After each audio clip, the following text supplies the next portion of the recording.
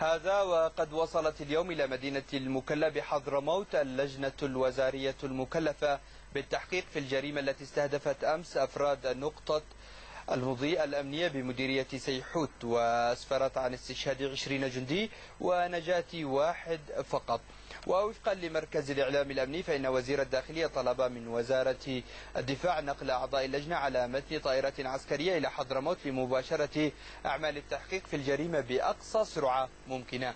هذا وتتكون لجنة التحقيق الوزارية من اللواء صالح عبد الحبيب الوكيل المساعد لعمليات الشرطة قطاع الأمن والشرطة والعم الدكتور رياض الفقير مدير عام الرقابة والتفتيش والعقيد فؤاد جرواش نائب مدير عام مكافحة الإرهاب.